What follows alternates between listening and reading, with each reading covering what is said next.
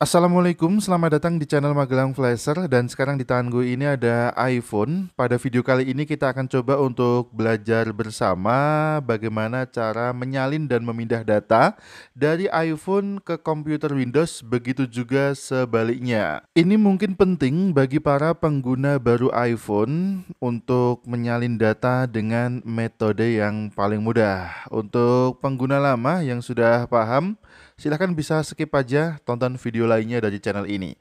Oke kita bergabung dengan tampilan Windowsnya. Untuk aplikasi yang akan kita gunakan adalah TriUtool. Teman-teman bisa buka browser kemudian download aplikasinya dengan mengetikkan alamat 3u.com atau bisa langsung ketikkan di Google TriUtool kemudian kita langsung download aplikasi dari websitenya. Ini dia kita klik OK, kita tunggu sampai aplikasi TriUtool-nya terdownload.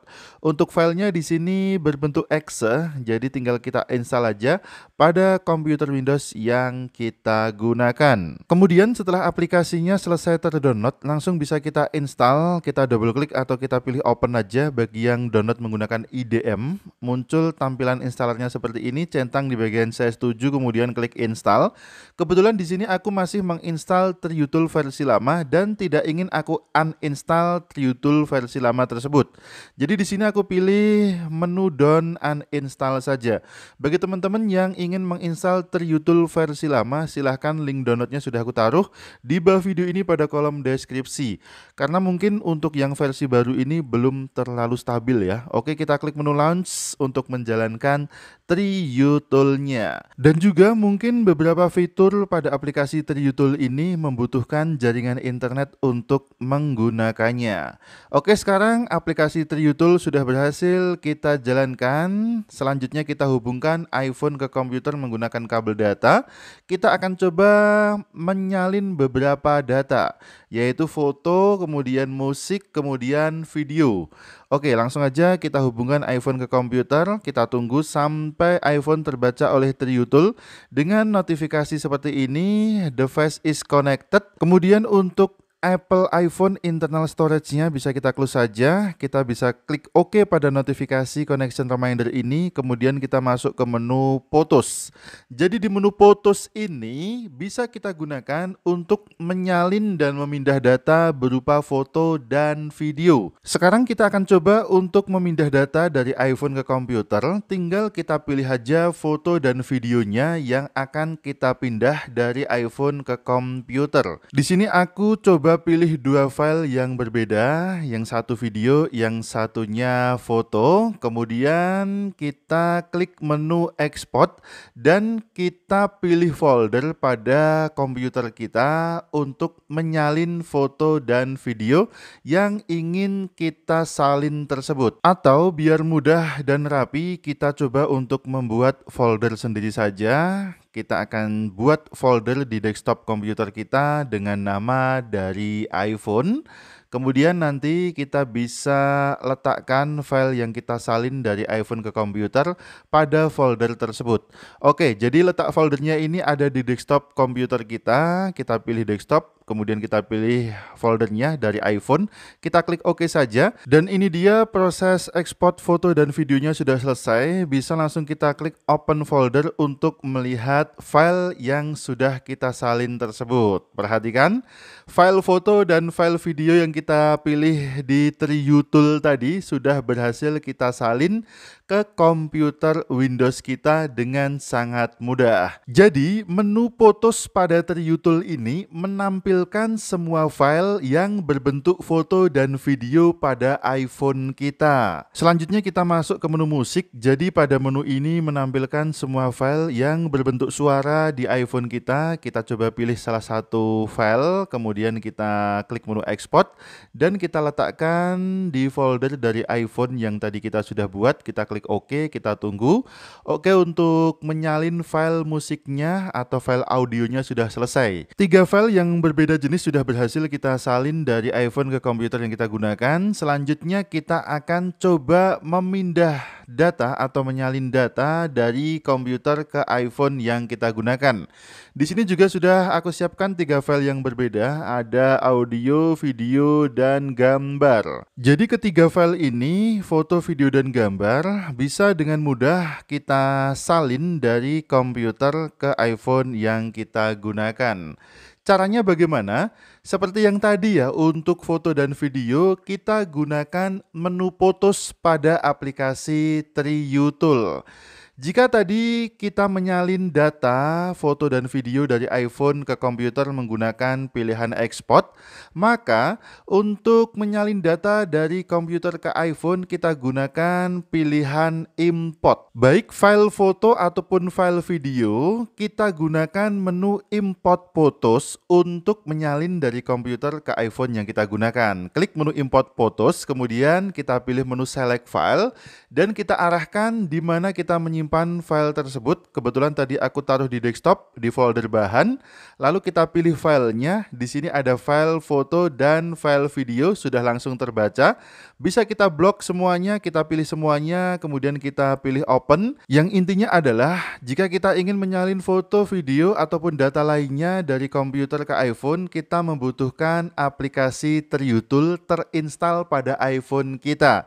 Kita tidak perlu mendownload secara manual karena ketika proses menyalin ini berjalan, aplikasi Triutul otomatis akan terinstall pada iPhone kita. Kita tunggu sebentar, di sini sudah berjalan prosesnya. Tinggal kita tunggu sampai muncul aplikasi Triutul pada iPhone yang kita gunakan. Perhatikan, ada proses instalasi otomatis aplikasi Triutul pada iPhone kita. Di sini kita tidak mendownload manual dari App Store untuk aplikasi Triutulnya. Setelah proses install aplikasi Triutulnya selesai, muncul notifikasi seperti ini, menunggu untuk membuka aplikasi Triutul pada perangkat iPhone kita. Karena aplikasi Triutul pada iPhone kita tidak berjalan secara otomatis, kita harus buka manual, kita bisa pilih aplikasi Triutul dan untuk menjalankan aplikasi Triutul pada iPhone kita harus menghubungkan dulu iPhone-nya ke jaringan internet. Kita tunggu sebentar, tampaknya iPhoneku tidak terhubung ke jaringan internet. Kita coba untuk menghubungkan dulu ke jaringan WiFi. Kita tunggu sampai iPhone ini terhubung ke jaringan internet. Bisa menggunakan WiFi ataupun data seluler sama saja. Selanjutnya kita ulangi untuk menjalankan aplikasi Triutulnya. Di sini boleh pilih izinkan atau minta app tidak melacak sama saja ya. Kemudian kita tunggu sebentar. Di sini kita pilih izinkan lagi akses ke semua foto. Kemudian kita tunggu sebentar, kita klik OK dan perhatikan proses importnya sudah selesai. Untuk videonya tampaknya gagal, kita klik retry saja untuk mencoba ulang menyalin video dari komputer ke iPhone kita. Oke, sudah sukses ya. Jadi foto dan video sudah berhasil kita salin dari komputer ke iPhone yang kita gunakan. Nanti fotonya akan muncul pada menu fotos di Triutul, begitu juga dengan videonya. Jika kita lihat pada menu fotos di Triutul, baru tampak file fotonya saja, sementara untuk file videonya kok belum tersalin ya. Untuk foto sudah betul berhasil kita copy, kita salin dari komputer ke iPhone, tapi untuk videonya belum kelihatan. Kita coba ulangi untuk klik import foto, select file, kita pilih file videonya, kemudian klik open. Kita tunggu sebentar. Oke, ini dia proses import fotonya sedang berjalan dan import finish. Oke, sudah berhasil kita menyalin video dari komputer ke iPhone. Kita coba scroll ke bawah.